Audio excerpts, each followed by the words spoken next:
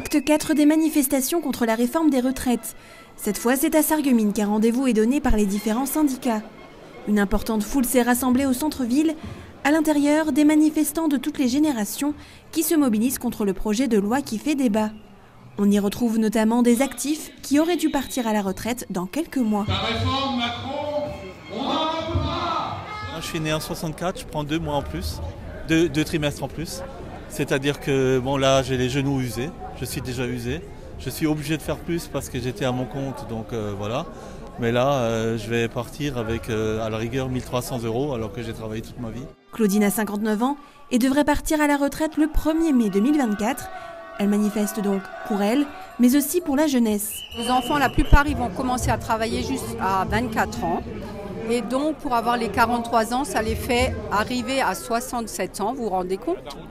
Bah, Ils ont envie de profiter un peu. Hein. Une jeunesse qui est aussi représentée dans le cortège. Même si nous, on a le bac, on peut quand même essayer de prendre un petit peu sur nous pour venir. C'est important, ça nous regarde aussi. C'est nous qui allons cotiser euh, dans, dans quelques années. Euh, et il ne faudra pas, faudra pas être triste à ce moment-là. C'est le moment, le moment de se mettre dans la rue. quoi.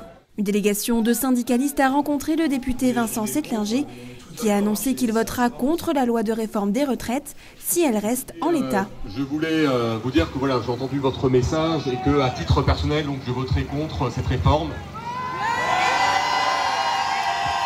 Le texte est discuté maintenant depuis quelques jours.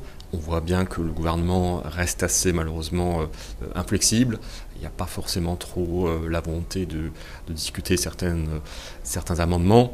Euh, donc c'est vrai que dans ces conditions-là, ça me semble difficile de voter cette réforme. Notre objectif, ce n'est pas une régression sociale, c'est d'aller au-delà, d'aller à 60 ans de faire moins, de travailler et d'avoir quelque chose après la vie au travail qui est de s'investir, de garder des petits-enfants euh, de faire du bénévolat, de l'associatif, etc. Il y a une autre vie après la vie de labeur. Après une marche au flambeau qui avait réuni 150 personnes fin janvier à Sarreguemines, cette fois, c'est près de 1000 personnes qui se sont réunies dans la cité faïencière selon les syndicats. C'est une mobilisation historique pour, euh, pour Sarreguemines. On a rarement vu plus de 1000 personnes dans, dans les rues.